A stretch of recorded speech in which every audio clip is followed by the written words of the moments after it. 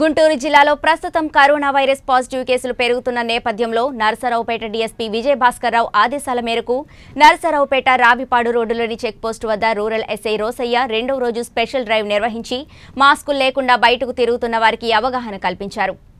ఈ మేరకు ఆయన మాట్లాడుతూ రానున్న రోజుల్లో కరోనా పాజిటివ్ కేసులు ఎక్కువగా నమోదవుతున్న నేపథ్యంలో ప్రతి ఒక్కరూ మాస్క్ ధరించి బయటకు రావాలని అన్నారు. అలా ఎవరైనా మాస్కులు లేకుండా బయట సంచరిస్తే కఠిన చర్యలు తీసుకుంటామని తెలిపారు.